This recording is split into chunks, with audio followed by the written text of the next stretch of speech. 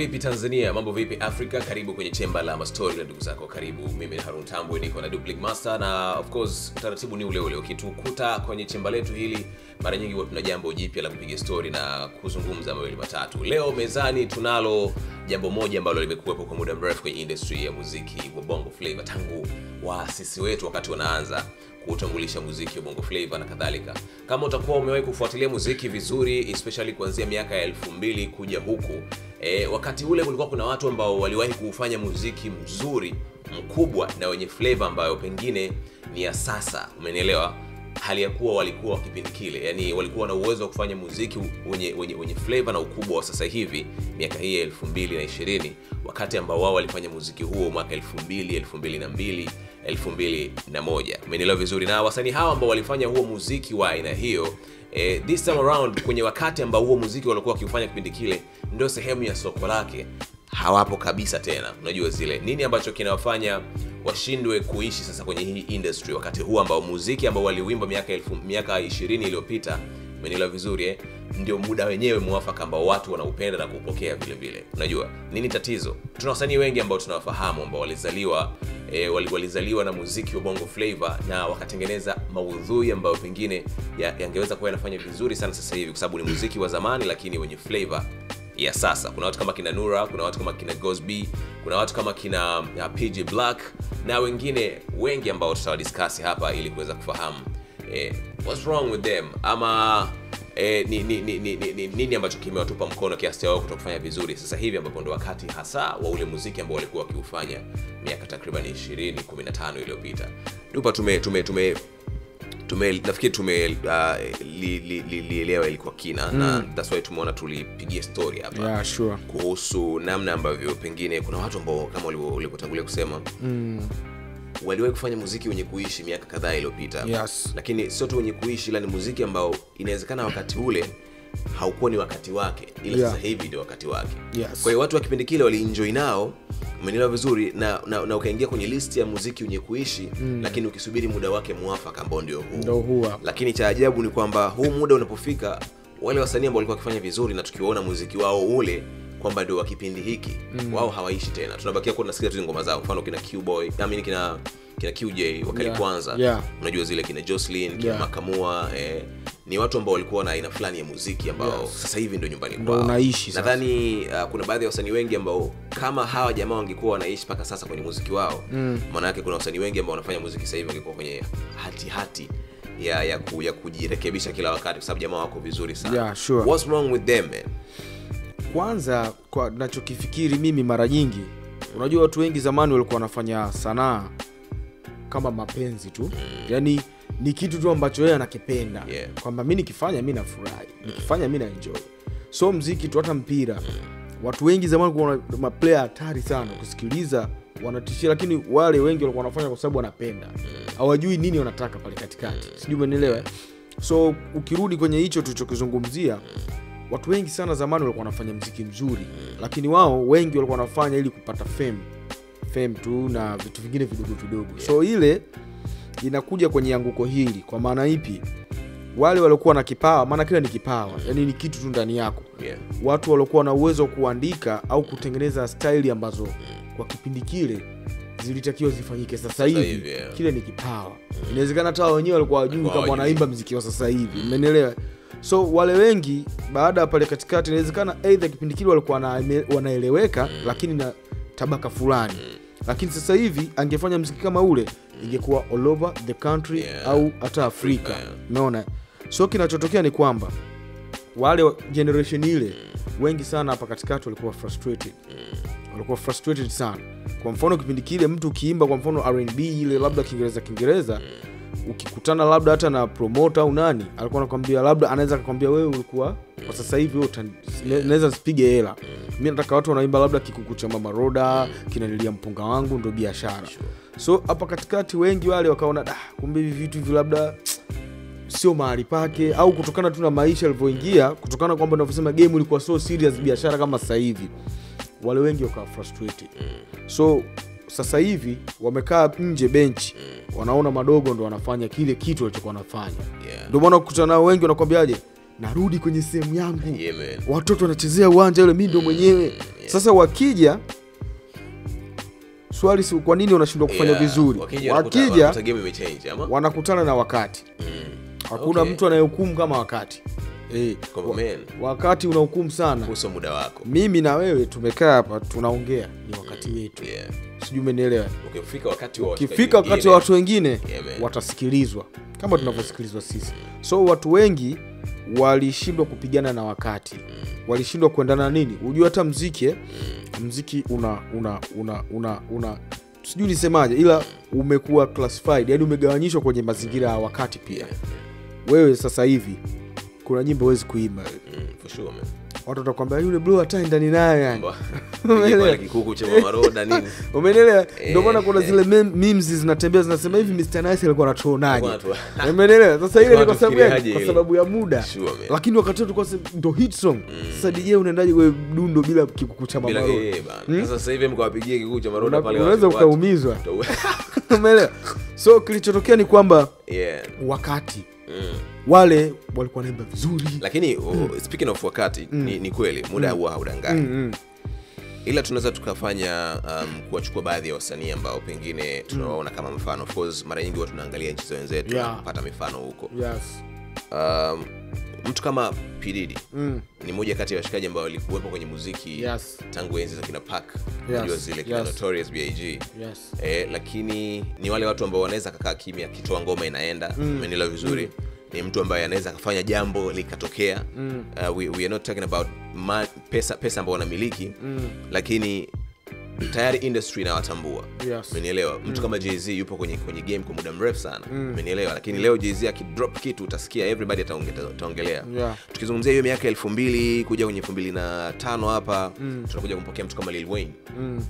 ambaye mpaka mm. leo pia akitoa kitu tunapokea Kinaenda. sasa of course hawawezi kukaa kwenye ile kwenye ile nafasi ama kwenye kile kiti kwa asilimia mia moja kulingana na muda wao tayari so ule ambao waliutumia. Yes. lakini tu projects zao rotation yake ni kubwa. Umenielewa? Inawezekana asia labda tuseme sahivi hivi wasanii wakubwa tunaoangalia hapa let's say alikiba diamond platinums um, harmonize mm. Jukes na watu wengine. Mm. Huwezi ukamweka kwenye vile viti. Atakuwa tuna engo yake moja tu kwamba ni legendari ambaye anafanya vizuri. Kama kina Fat Joe umenielewa vizuri? Yeah.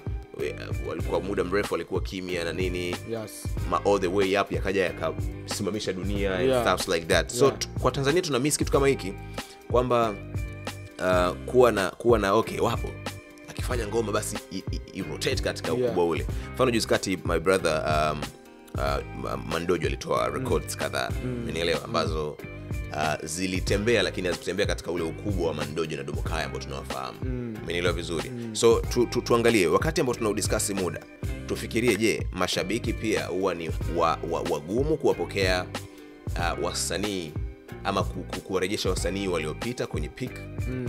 ama what the secret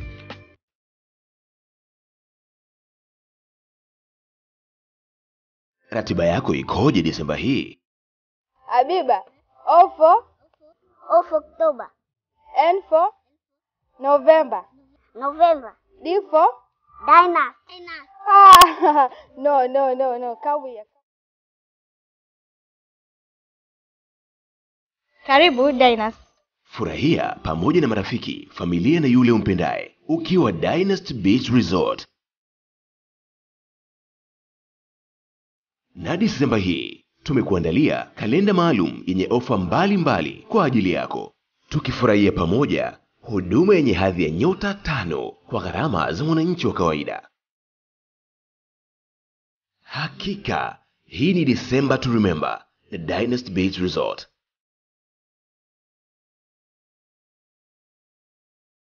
Dynasty Beach Resort. Refresh your mind. Kuna kuna hapo secret kubwa siri kubwa kwanza mm. utayari wa wa kimazingira hata kisaikolojia ki, ki wa mm. hao wenyewe wanaotakiwa tuwapokee mm. unajua Mr. Aruni mziki wa huko tulikozungumzia kwa kina Fat Joe kina Jay-Z nani Yeah. ule mziki umefaulu sana kwa sababu hata mapito yaliyotengenezewa kutoka generation hadi generation ni mapito ambayo yanastahili hichi ambacho sisi tunakiona mziki wa ulaya umefaulu kwa sababu hata ukikutana na mtu ambaye yuko darasa la saba ajui kiingereza chochote au darasa la pili lakini akisikia dundo la Jay-Z dundo la jezi Jay-Z atakwambia nataka Yeah. nidownloadie. Alafu ile ni nini ile ni kwamba ni mentality tu ambayo tayari ilijengwa na ni, ni, ni kufanikiwa kwa ile industry Yeah. yani zile figisu zilivyofanyika ili unajua kama tunavyosema unajua dola sio pesa Yeah. kubwa kuliko pesa zote Yeah, duniani for sure, lakini kwa nini mtu ukimwambia nitakupa dola moja? achanganyikiwa yes. sana. Yeah, umeona Yeah, lakini kuna pesa za kiarabu mm, falme za zile nini nini? zinakimbiza. Namna ilivyokuwa branded. Sijui umeendelea ni saikolojia na namna watu walivyoweza kuishika dunia Yeah. kuaminisha kwamba marekani ndo marekani ndo nchi babe kuliko nchi yote kwa hiyo zile figisu watu walikuwa wanatengenezewa movie za kivita wanaona makomando wa kimarekani wakiingia. Kombola manini ma vifaru kama "Eh, marekani kumbe wanatisha Yeah. lakini hiyo ni saikolojia so means ni ni ni ni, ni, ni mentality tu namna ya wadau wa game mfumo wa wao wa kuamini muziki yeah. kiujumla na namna walivyotaka mziki wao usambae duniani. Walifaulu. So hapa nyumbani kama unavyosema Madojo sunani alitoa ngoma na nini. Kwanza And of course tuna brand new joint sasa hivi Yeah. ya TMK yeah, yes ni utayari kwanza wa wale watu kwa mfano mandojo yeye atataka akirudi astu, yani watu wastuke vile vile kama alivyokuwa mm. mandojo ule wa mwaka elfu mbili wanavyostuka umenielewa alafu kingine hapa katikati kuna watu hapa mm. kabla ya mandojo yani kutoka kwa mandojo na sisi hapa katikati Kuna kuna, wadau yes. Exactly, yeah. wale watu wao wanaamini wakimleta mandojo mm. sio sawa kama akimchukua labda dula malyrics Mm, kijana yeah. tu ambaye dula malyrics ambaye Yeah. anachana sana. Anaimba matrap manini ya Yes, sasa hivi. yes. umeelewa? Wanaamini huyu dula malyrics atakuwa na- anatija kuliko huyu mandojo. Kwa hiyo kuanzia trust ile ya watu ambao wanafanya watu wengine waende kama bridges madaraja. Yeah, kwa sababu mi nimefanikiwa nime, nime kuona pia ni uh, kuna watu walikuja wakaweka na nguvu sana kwenye kurudi, kwenye kurudi Yeah. ili kwamba sasa natengeneza comeback yangu moja strong sana mm. unajua zile mm. wakafanya mamedia tour unajua zile mm. na, na vitu vingine vingi mm. lakini hawaku- hawakurejea kwenye ile Kwenye ile nafasi na, na, na, na, na, na sometimes hata rekodi ambazo wanatoa sometimes inakuwa sio mbaya ni nzuri kabisa umenielewa eh? mimi nilipata nafasi ya kuwa na QJ yes.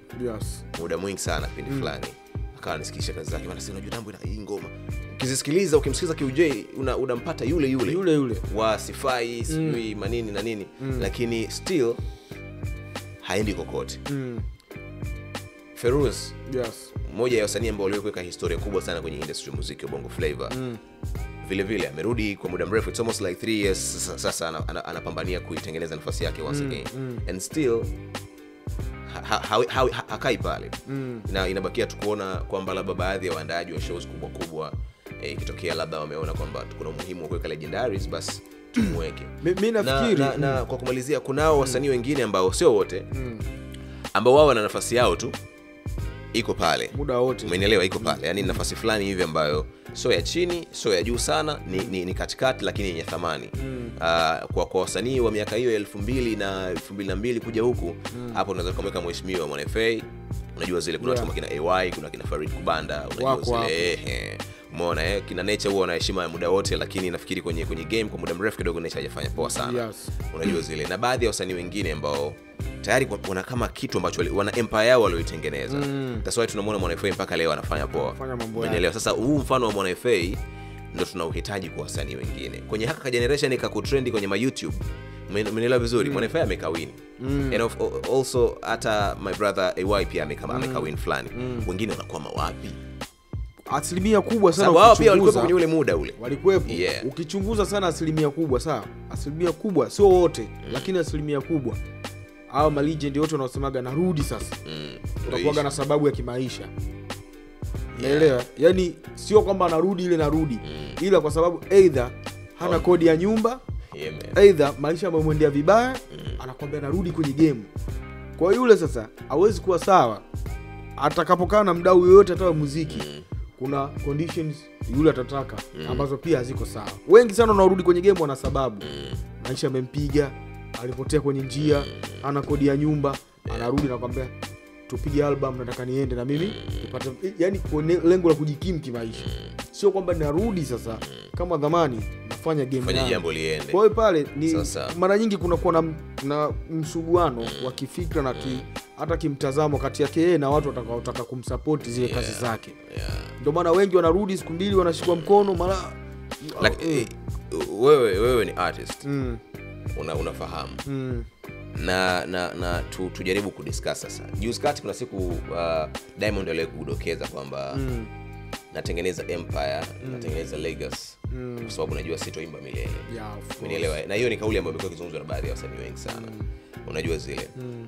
ni wazi kwamba kuna stage pamoja na mapokezi ya watu labda kustak inafika pahala msanii anagota kwenye kufanya vitu vizuri Ah, kiasi cha hawa sasa tuzungumze labda pengine hawa wamefika mm. kwenye sehemu ya kugota mm, kama kuna kuna kuna sehemu ya ukomo ambao mtu anafika anagota mm. anawezaje kufahamu msanii ili amain business zake nyingine na achane kabisa na biashara ya muziki kwa sababu mwisho wa siku ni, ni waste time yeah. mimi nafikiri sio kugota kwenye kuleta vitu vizuri mm. ila kugota kwenye muda wako yaani hata utunge vitu vizuri vipi yeah, man. muda wako ukifika angalia kuna malegends wa afrika muda wote mm. akina papa wemba late umenielewa eh? akina tabulei Yeah. wale sio kwamba walikuwa hivi papa wemba mpaka mara mwisho wanapoteza maisha stejini Was alikuwa yeah. kiimba ulikuwa unaweza kusema kwamba papa wemba hajui kuimba papa wemba alikuwa kwenye piki Mm. lakini muda ukasema papa wemba wewe utabaki kama legend umenielewa lakini Yeah. falipupa hebu njoo feregora hebu njoo uimbe. so eh. kuna yani ile ni automatically So mwenyezi mungu alitengeneza ah, yeah. ni swala la muda tu. Yani mimi hata niandike miziki vizuri vipi? Kuna mwaka utafika miziki yangu hata so means mm. kila mmoja anatakiwa afahamu kwamba kamba ya safari ya muda wake ana ina expiry date yake. Unajua zile Yeah nini ambacho natakiwa kifanyike extra maanake ni, ni, ni, ni let's say kwa sababu umezungumza kwamba uh, wasanii wengi ambao wanarejea kwenye game waliopotea kwa muda mrefu na kusema "Nare- narejea ni wale ambao unakuta wamepigwa kidogo na maisha Kuna mambo fulani so nahisi labda akija sasa hivi kuna maboom place kuna ma, Yeah, mambo michakato michakato hapa, kule.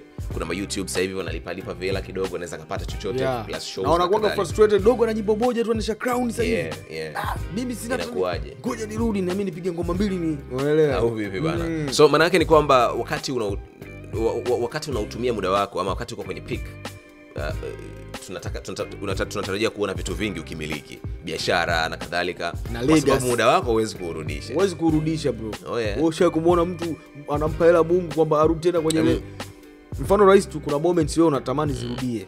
Zilikukuta mwaka elfu mbili na Yeah, kumi sure. zilikuwa nzuri kweli. Mm. zishawai kujirudia? Hata kuziigiza ukipanga watu hebu turudieni haiwezi kuwa nzuri kama ile au katika ile.